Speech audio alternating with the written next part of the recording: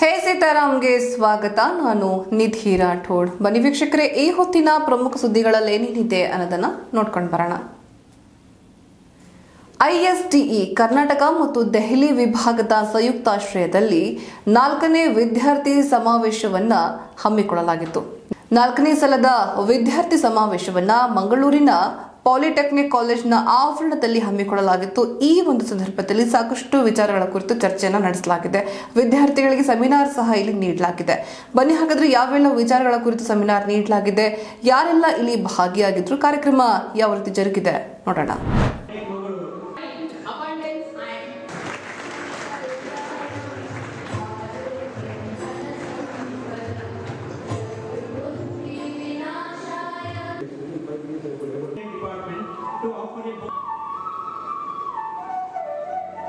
Computer science and engineering department to welcome him with a short and momentum.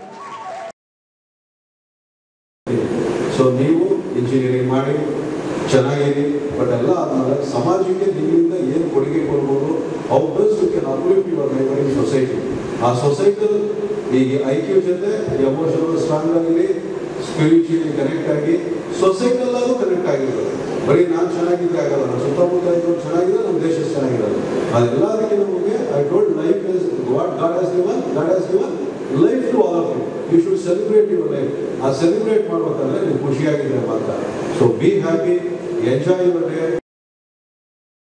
See, in the journey of three years of your course line, you may choose to select different paths as your profession. So opportunity tumba is Polytechnic One thing is you have to be more confident because success comes to the people who work or who look for it. Hard work is more important. As our uh, chairman already said, opportunities. Opportunities, we have plenty of opportunities. But uh, how we choose that? What best we can give execute that opportunity into uh, our reality or the dream alone that is more important. Polytechnic, how they look, for engineering colleges, how they look. I mean, society is looking, there is one view or angle of viewing we call. So my first aim was to change that angle, how the society is, how the industry or anybody is looking at the Polytechnic. So uh, if you, I mean, uh, I was there in uh, almost in 2006, I visited Adelaide University. There is different because every parent wanted to become their child, they wanted to see is in IITs. ಮುಖ್ಯಮಂತ್ರಿ ಸಿದ್ದರಾಮಯ್ಯನವರು ಮೈಸೂರಿನಲ್ಲಿ ಪ್ರಗತಿ ಪರಿಶೀಲನಾ ಸಭೆಯೊಂದನ್ನು ನಡೆಸಿದ್ದಾರೆ. ಅಲ್ಲದೆ ದಸರಾ ಹಬ್ಬಕ್ಕೆ ಬೇಕಾದಂತಹ ಅಥವಾ ದಸರಾ ಉತ್ಸವಕ್ಕೆ ಬೇಕಾದಂತಹ ಸಕಲ ಸಿದ್ಧತೆಗಳು ಯಾವ ರೀತಿ ನಡೀತಾ ಇದೆ ಅನ್ನೋದರ ಪರಿಶೀಲನೆ ಕೂಡ ನಡೆಸಿದ್ದಾರೆ. ಜೊತೆಗೆ ಈ ಒಂದು ದಸರಾದಲ್ಲಿ ಯಾವೆಲ್ಲ ವಿಶೇಷತೆಗಳಿರುತ್ತವೆ, ಈ ಹಿಂದೆ ಯಾವೆಲ್ಲ ಕಾರ್ಯಕ್ರಮಗಳು ನಡೀತಾ ಇದ್ವು ಅನ್ನೋದರ ವಿವರಣೆ ಕೂಡ ಕೊಟ್ಟಿದ್ದಾರೆ. ಬನ್ನಿ, ಹಾಗಾದ್ರೆ ಸಿದ್ದರಾಮಯ್ಯನವರು ಏನ್ ಮಾತಾಡ್ತಾರೆ? ಯಾವೆಲ್ಲ ಕಾರ್ಯಕ್ರಮದ ಬಗ್ಗೆ ವಿವರಣೆ ಕೊಟ್ಟಿದ್ದಾರೆ ನೋಡೋಣ.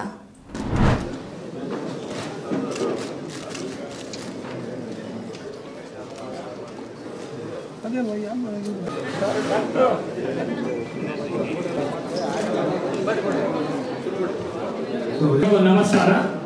ಈ ದಿನ ದಿನಾಂಕ ಇಪ್ಪತ್ತರವಾಗಿ ಹೃದಯಪೂರ್ವಕವಾಗಿ ಸ್ವಾಗತ ಕೋರುತ್ತೇನೆ. ಅವ್ರಿಗೂ ಸಹ ಸ್ವಾಗತ ಕೋರುತ್ತೇನೆ. ಚಾಮರಾಜ ಎರಡನೇ ತಾರೀಕು ಬರ್ತೇನೆ ಸಾಯಂಕಾಲ. ಮೂರನೇ ತಾರೀಕು ದಸರಾ ಚಾಮುಂಡಿ ಬೆಟ್ಟದ ಮೇಲೆ ಉದ್ಘಾಟನೆ ಆಗ್ತದೆ. ಅವತ್ತು ಎಕ್ಸಿಬಿಷನ್ ಉದ್ಘಾಟನೆ ಸ್ಪೋರ್ಟ್ಸ್ ಇದಕ್ಕೆ ಅದು ಅದು ಮತ್ತು ಕುಸ್ತಿ ಅರಮನೆ ಹತ್ರ ಸಾಂಸ್ಕೃತಿಕ ಕಾರ್ಯಕ್ರಮಗಳು, ಇವೆಲ್ಲವೂ ಕೂಡ ಉದ್ಘಾಟನೆ ಆಗ್ತದೆ. ಮತ್ತು ಸಿನಿಮಾ ಉತ್ಸವ ಸಾಹಿತ್ಯ, ಕವಿಗೋಷ್ಠಿ ಇವೆಲ್ಲವೂ ಕೂಡ ನಡೀತದೆ. ಈಗಾಗಲೇ ನಮ್ಮ ಡಿಸ್ಟಿಕ್ ಇನ್ಚಾರ್ಜ್ ಮಿನಿಸ್ಟ್ರು ಅನೇಕ ಮೀಟಿಂಗ್ಗಳನ್ನು ಮಾಡಿ ತಗೊಂಡಿದ್ದಾರೆ. ಈ ಸಾರಿ ನಿಮಗೆಲ್ಲ ಗೊತ್ತಿದೆ, ಹಂಪ ನಾಗರಾಜಯ್ಯನವರು ದಸರಾ ಉದ್ಘಾಟನೆ ಮಾಡ್ತಾರೆ. ಸೊ ನಾನು ಕೂಡ ಭಾಗವಹಿಸ್ತಾ ಇದ್ದೀನಿ. ಸೊ ಒಟ್ಟಾರೆಯಾಗಿ ದಸರಾ ಈ ಸಾರಿ ಭಾಳ ಚೆನ್ನಾಗಾಗಬೇಕು ಜನರ ಉತ್ಸವದ ರೀತಿ ಆಗಬೇಕು. ಜನರ ಉತ್ಸವದ ರೀತಿ ಮಾಡಬೇಕು ಅಂತೇಳಿ ಡಿ, ಜಿಲ್ಲಾಧಿಕಾರಿಗಳಿಗೆ ಪೊಲೀಸ್ನವ್ರಿಗೆ, ಮತ್ತು ಪ್ರವಾಸೋದ್ಯಮ ಇಲಾಖೆಯವ್ರಿಗೆ, ಮತ್ತು ಕಾರ್ಪೊರೇಷನ್ನವ್ರಿಗೆ, ಮತ್ತು ಮೂಡಾದವ್ರಿಗೆ ಇವರೆಲ್ಲರಿಗೂ ಕೂಡ ಸ್ಪಷ್ಟವಾದಂಥ ಸೂಚನೆಗಳನ್ನು ಮೈಸೂರಿನಲ್ಲಿ ಸ್ವಚ್ಛತಾ ಹಿ ಸೇವಾ ಅಭಿಯಾನಕ್ಕೆ ಚಾಲನೆಯನ್ನ ನೀಡಲಾಗಿದೆ. ಈ ಸಂದರ್ಭದಲ್ಲಿ ಪಾಲಿಕೆಯ ಪೌರ ಕಾರ್ಮಿಕರಿಗೆ ಸ್ವಚ್ಛತೆ ಬಗ್ಗೆ ಜಾಗೃತಿ ಮೂಡಿಸುವ ಕೆಲಸ ಸಹ ನಡೆದಿದೆ. ನಗರದ ಎಲ್ಲಾ ವಾರ್ಡ್ಗಳಲ್ಲಿಯೂ ಕೂಡ ಯಾವ ರೀತಿ ಸ್ವಚ್ಛತೆಯನ್ನ ಮೇಂಟೈನ್ ಮಾಡಬೇಕು ಅನ್ನೋದರ ಕುರಿತಾಗಿ ಮಾಹಿತಿ ಸಹ ಕೊಡಲಾಗಿದೆ. ಜೊತೆಗೆ ಸ್ವಚ್ಛತೆಯ ಮಹತ್ವವನ್ನ ಅವರಿಗೆ ತಿಳಿಸ್ಕೊಡಲಾಗಿದೆ. ಅಲ್ಲದೆ ಈ ದೇಶಾದ್ಯಂತ ಏನ್ ನಡೀತಾ ಇದೆ ಸ್ವಚ್ಛತಾ ಹಿ ಸೇವಾ ಅನ್ನುವಂತಹ ಅಭಿಯಾನ? ಇದು ಅಕ್ಟೋಬರ್ ಎರಡನೇ ತಾರೀಕಿನವರೆಗೂ ಕೂಡ ನಡೆಯಲಿದೆ. ಮಹಾತ್ಮ ಗಾಂಧೀಜಿಯವರ ಹುಟ್ಟುಹಬ್ಬದ ಅಂಗವಾಗಿ ಅಥವಾ ಜಯಂತಿಯ ಅಂಗವಾಗಿ ಈ ಒಂದು ಸ್ವಚ್ಛತಾ ಹಿ ಸೇವಾ ಅನ್ನುವಂತಹ ಮಹತ್ವದ ಅಭಿಯಾನವನ್ನ ಕೈಗೊಳ್ಳಲಾಗ್ತಾ ಇದೆ. ಬನ್ನಿ, ಹಾಗಾದ್ರೆ ಮೈಸೂರಲ್ಲಿ ಯಾವ ರೀತಿ ಜರುಗ್ತು ಈ ಕಾರ್ಯಕ್ರಮ ಅನ್ನೋದನ್ನ ನೋಡೋಣ.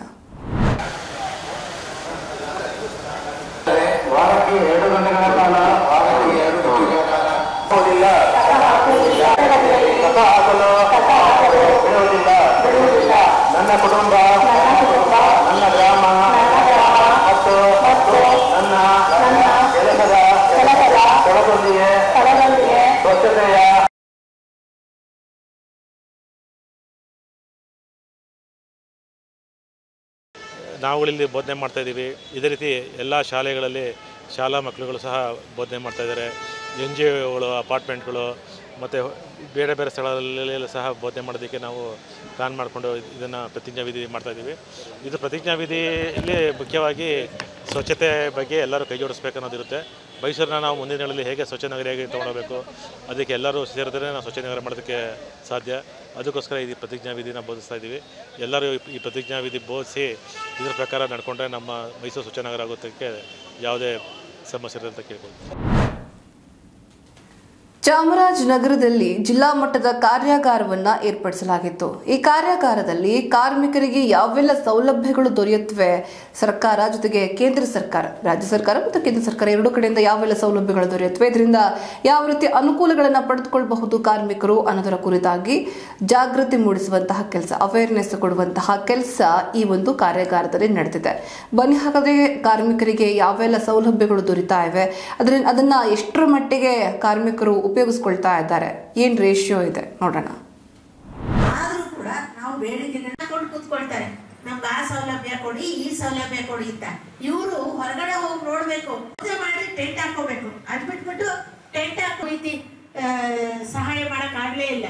ಕರೆಸಿ ನ್ಯಾಯಯುತವಾಗಿ ಅವ್ರಿಗೆ ಮತ್ತೆ ಎಂಪ್ಲಾಯ್ಮೆಂಟ್ ಕೊಡಿ ಅಂತ ಕೇಳಿದ್ವಿ. ಮೂವತ್ತು ಜನಕ್ಕೆ ಕೆಲಸದಿಂದ ತೆಗೆದಾಕ್ಬಿಟ್ಟಿದ್ರು.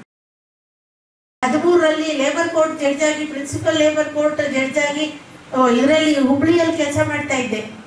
ಇವಾಗ ಕೂಡ ಈ ಕೋರ್ಟಲ್ಲೂ ಹಾಕಿದ್ದಾರೆ, ಆ ಕೇಸು. ಅದೇ ಥರದ ಕೇಸು. ಅವರು ಮಗು ಹುಟ್ಟಿದೆ ಮೆಟರ್ನಿಟಿ ಲೀವ್ ಕೊಟ್ಟಿಲ್ಲ. ಕೆಲಸದಿಂದ ವಜಾ ಮಾಡಿಬಿಟ್ಟಿದ್ದಾರೆ. ಮೆಟರ್ನಿಟಿ ಲೀವು ಅದು ಕಾನೂನು ಹಕ್ಕಿದೆ, ಕಾನೂನಲ್ಲಿ ಹಕ್ಕಿದೆ. ಮತ್ತೆ ಒಂದು ಮನುಷ್ಯತ್ವನೂ ಇದೆ ಅಲ್ಲಪ್ಪ. ಕರುಣೆ ಇರಬೇಕು, ಮನುಷ್ಯತ್ವ ಇರಬೇಕು, ಅದೂ ಇಲ್ಲ. ಮೆಟರ್ನಿಟಿ ಲೀವ್ ಕೊಡದೆ ನೀನು ಕೆಲಸ ಬಿಟ್ಟು ಹೋಗು ಅಂತ ಹೇಳಿ ಕೆಲಸದಿಂದ ಕಳೆದ್ಬಿಟ್ಟಿದ್ದಾರೆ. ಮೊದಲು ಕಾರ್ಮಿಕರಿಗೆ ಸೌಲಭ್ಯಗಳು ಕಡಿಮೆ ಇತ್ತು. ಇವತ್ತು ಎಲ್ಲ ರೀತಿಲೂ ಕಾರ್ಮಿಕರಿಗೆ ತುಂಬ ಸೌಲಭ್ಯ ಇದೆ. ಲೇಬರ್ ಕಾರ್ಡ್ ತಗೊಳ್ತೆ ಲೇಬರ್ ಕಾರ್ಡ್ ತಗೊಂಡ್ರೆ ಅವ್ರಿಗೆ ಪ್ರತಿಯೊಂದು ಏನು ಮಕ್ಕಳುಗಳ ಮ್ಯಾರೇಜ್ಗೆ ಮಕ್ಕಳುಗಳ ಡೆಲಿವರಿ ಮಕ್ಕಳು ಈಗ ಎರಡು ಮಕ್ಕಳಿಗೆ ಡೆಲಿವರಿಗೆ ಪೆನ್ಷನ್ ಸ್ಕೀಮು ಪ್ರತಿಯೊಂದು ಸಾಲದ ಸೌಲಭ್ಯ, ಎಲ್ಲ ರೀತಿ ಸೌಲಭ್ಯ ಇದೆ. ಆದರೆ ಕಾರ್ಡ್ ತಗೊಂಡ್ಮೇಲೆ ನೀವು ಪ್ರತಿ ವರ್ಷ ರಿನ್ಯೂ ಮಾಡಿಸ್ಬೇಕು. ಕೆಲಸದ ವೇಳೆಯಲ್ಲಿ ವಿಶ್ರಾಂತಿಯನ್ನು ಒದಗಿಸುವಂಥದ್ದಾಗಿರ್ಬೋದು ಅವರಿಗೆ ಹೆರಿಗೆ ರಜೆಯನ್ನು ಕೊಡುವಂಥದ್ದಾಗಿರ್ಬೋದು ಅವರಿಗೆ ಭವಿಷ್ಯ ನಿಧಿ E S I P F ಅನ್ನು ಕೊಡುವಂಥದ್ದು ಮತ್ತು ಆರೋಗ್ಯ ತಪಾಸಣೆಯನ್ನು ಮಾಡುವಂಥ ಕೆಲಸಗಳನ್ನು ಮಾಡುವಂಥದ್ದು ಮತ್ತು ಅವರ ಕುಟುಂಬದ ವರ್ಗದವರಿಗೆ ಅವರ ಅವಲಂಬಿತರಿಗೆ ಶೈಕ್ಷಣಿಕ ಸೌಲಭ್ಯಗಳನ್ನು ಕೊಡುವಂಥದ್ದು ಈ ಎಲ್ಲ ಕರ್ತವ್ಯಗಳು ಇದ್ದಾಗ ಕೂಡ ಅದನ್ನ ಸರಿಯಾಗಿ ನಿಭಾಯಿಸದೇ ಇದ್ದಾಗ ಮಾತ್ರ ಕಾರ್ಮಿಕರ ಮುಷ್ಕರಗಳು, ಸ್ಟ್ರೈಕ್ಗಳು ಆಗುವಂಥದ್ದು. ಅದನ್ನ ಕಮಿಟ್ಮೆಂಟ್ ಇಂದ ಒಳಗೊಳ್ಳುವಂತ ಕೆಲಸವನ್ನ ಆಗ್ಬೇಕಾಗಿದೆ ಅಂದ್ರೆ ಈಗ ನಾವು ನೋಡ್ತಾ ಇದ್ದೀವಿ, ಈಗ ಕೆಲಸ ಮಾಡಿಸ್ತಾ ಇದ್ದಾರೆ ಅಂತಂದ್ರೆ ಈಗ ನೀವು ಕೇಳಿ ಸಾಮಾನ್ಯವಾಗಿ ಕೇಳೋ ಪ್ರಶ್ನೆ, ಅಯ್ಯೋ, ಕೆಲಸಕ್ಕೆ ಅಂತ ಕರಿತೀವಿ, ಬಟ್ ಆದ್ರೆ ಕೆಲಸ ಎಷ್ಟರ ಮಟ್ಟಿಗೆ ಆಗುತ್ತೆ ಅನ್ನುವಂಥದ್ದನ್ನ ನಾವು ಗ್ಯಾರಂಟಿ ಕೊಡಕ್ಕಾಗಲ್ಲ ಅಂತ. ಅಂದ್ರೆ ಈಗ ಒಂದು ವ್ಯಕ್ತಿಯನ್ನು ನಾನು ಇವತ್ತು ಕೆಲಸಕ್ಕೆ ಕರೆದಿದ್ದೀನಿ ಅಂತಂದರೆ, ಅವನಿಂದ ಬೇ, ನಿರೀಕ್ಷಿಸುವಂತಹ ಪ್ರೊಡಕ್ಟಿವಿಟಿ ಅಂಡ್ ಕ್ವಾಲಿಟಿ ಅಷ್ಟಕ್ಕೆ ನಾವು ನ್ಯಾಯವನ್ನು ಒದಗಿಸ್ತಾ ಇದ್ದೀವಾ ಅಂತ ಕಾರ್ಮಿಕರು ನಾವು ಪ್ರಶ್ನೆ ಮಾಡಿಕೊಳ್ಬೇಕು. ಇವಿಷ್ಟು ಹೊತ್ತಿನ ಪ್ರಮುಖ ಸುದ್ದಿಗಳು ಮತ್ತಷ್ಟು ಸುದ್ದಿಗಳಿಗಾಗಿ ನೋಡ್ತಾ ಇರಿ. ಹೇ ಸೀತಾರಾಮ್, ಇದು ಸತ್ಯದ ಕೈಗನ್ನಡಿ.